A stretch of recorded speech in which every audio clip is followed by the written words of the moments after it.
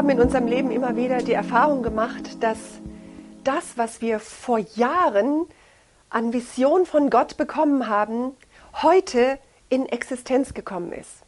Dinge, die wir vor Jahren gebetet haben, sind heute sichtbar geworden vor unseren Augen.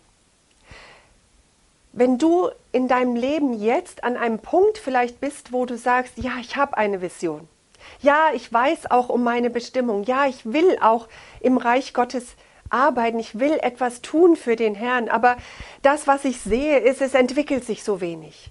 Es sind nur so kleine Schritte. Es ist nicht wirklich, dass ich merke, es geht richtig voran. Da möchte ich dir sagen, bleib dran. Bete weiter. Wir haben ganz oft unsere Anliegen vor Gott ausgebreitet, um diese Vision, die er uns gegeben hatte, wirklich hervorzubringen. Viele Frauen und Männer Gottes haben eine Vision von Gott bekommen. Und das, was ich immer wieder in ihrem Leben sehe, das ist, dass sie vielleicht manchmal nur über eine längere Zeit diese eine Vision hatten. Aber sie sind dran geblieben, sie haben gebetet, sie haben darum gerungen, dass diese Vision zustande kommt. Vielleicht haben sie einen hohen Preis dafür bezahlt. Aber sie sind dran geblieben an Gott und Gott hat gesagt, trachte zuerst nach dem Reich Gottes. So wird er alles hinzufügen. Und das habe ich in unserem Leben so gesehen und auch bei vielen Männern und Frauen Gottes. Und das ist das, was ich dir auch sagen möchte. Bleib dran, denn er hat Zukunft und Hoffnung für dich, dass du deine Bestimmung erfüllen wirst. Gott ist mit dabei, diese Bestimmung Step by Step hervorzubringen. Ich will dir ein ganz kleines Beispiel aus unserem Dienst erzählen.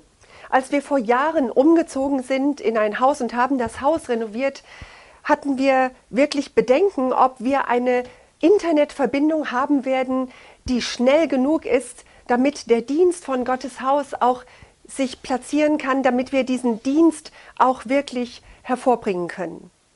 Und am Anfang sah es wirklich nicht gut aus und wir hatten gedacht, wir müssten vielleicht uns Zusatzgeräte noch besorgen, damit wir diese ganzen Dinge, die wir über das Internet ausstrahlen wollten, damit wir sie wirklich bearbeiten können.